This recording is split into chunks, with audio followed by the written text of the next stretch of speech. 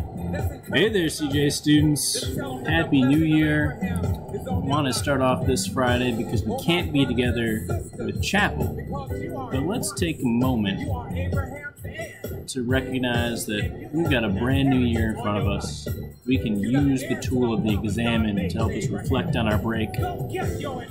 Go get our inheritance, as the song says, and make today and the following days awesome. So, let's start off. Where's one place you saw God over break? Was it in a person? Was it in a physical space? Was it in a thing? A gift? Where was one place you saw God over break? Think back through your break. Really do it. Focus. Don't try and daze off. Focus. You can do it. We believe in you. Even if you don't want to be here right now, you can do it. Focus.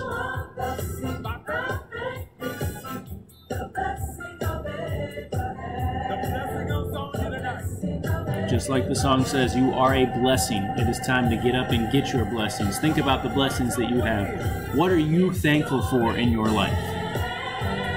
A person, a place, a thing, a time of day, a little moment that happened over break, something that happened recently.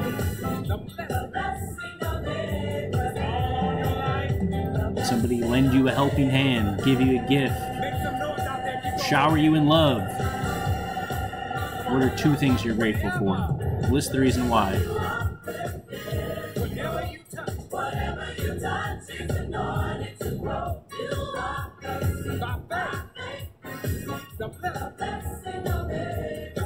Our cup runneth over. It truly does.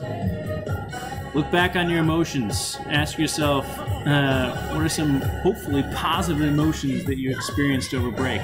Try and name the time and place. Maybe you're tired, maybe you're exhausted, but probably from having some pretty awesome fun too. Uh, go ahead and take a look at your wheel chart if you need to, of all the different emotions you've experienced.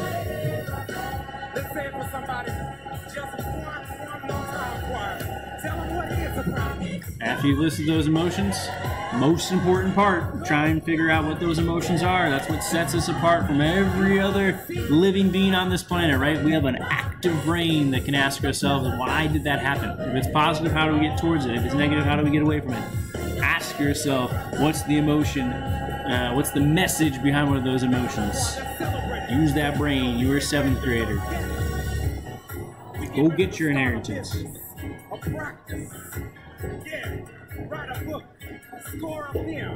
Lastly, prayers do things. What are the prayers that you want to offer for you today? We got a lot of people that are sick in our community. We got a lot of wrong going on in the world, but we got a lot of positive stuff going on too. Part of your inheritance is spreading that love throughout the world. So, what intentions do you want to offer today?